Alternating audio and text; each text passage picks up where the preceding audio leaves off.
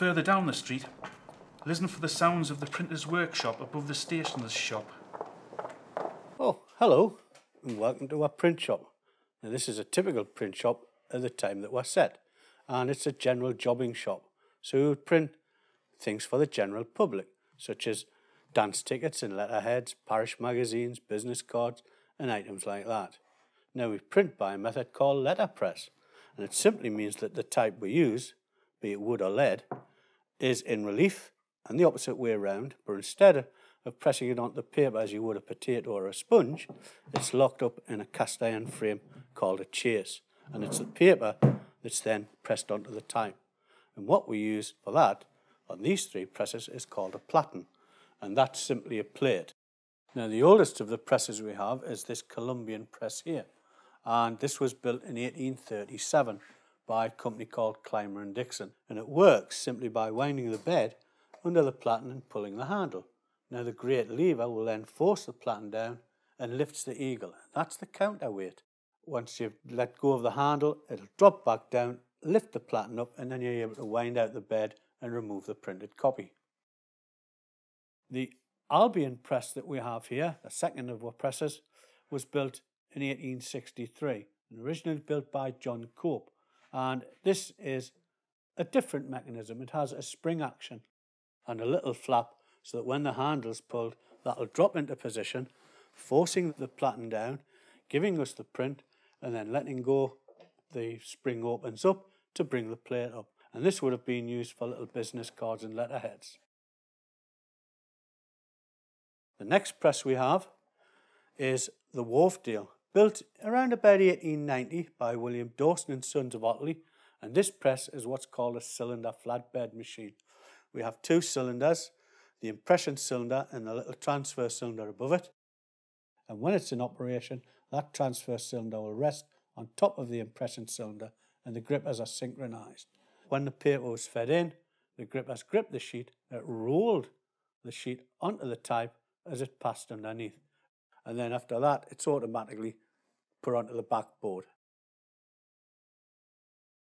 Our last press is the Arab Platen, and it was built around about 1903 by Josiah Wade.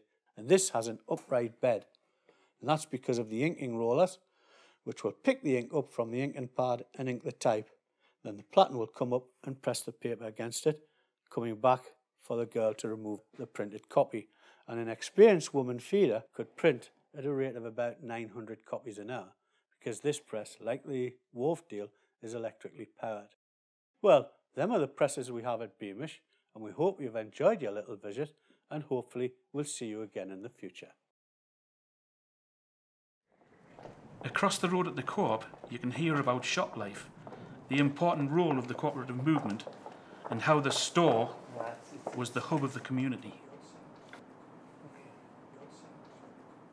The drapers sold materials and items suitable for making and repairing clothing.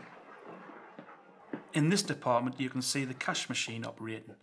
Made by Lamson and Paragon, the system ensured that all transactions were recorded and held centrally in the cash office. This was essential for the calculation of the dividend.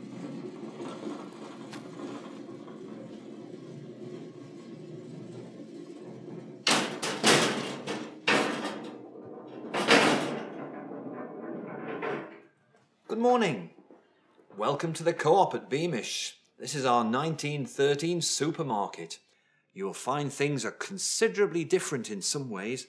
You won't see a trolley like you would at a supermarket today. You bring your list to me and I get all the products that you need from the shelves and bring them to the counter. We have a complete range of food, fresh vegetables and fruit, our dairy products, meat, and of course, a huge range of consumable products. We don't have modern fridges or vacuum packing. Everything is there on display, and you, the customer, can purchase whatever quantity you want. I'm quite happy to sell you one individual egg, or if you have enough money, a complete side of bacon. In order to help people recognize my products, we have a color coded system so that you can recognize what you're buying. Dried fruit would be in blue. peas in yellow, lentils in orange, and butter beans in green packets. If you'd like to come down here, you can have a look at some of the consumables, a number of which were actually produced for the co op. We have drawers that contain various herbs, so the customer can have whatever quantity they want. It can be packed into our paper cone, known as a poke, weighed, and the customer gets exactly what they want. Another feature of the Cooperative Wholesale Society, or the CWS, was their dividend system. Loyal customers were rewarded because every three months, 20% of what you'd spend would be refunded to you. Once you'd bought your products, if you couldn't carry them home yourself, then they would be wrapped and taken back to your house on a delivery bike. Have a good look round. See what we have on sale. See what you recognise and what has changed. Enjoy your shopping.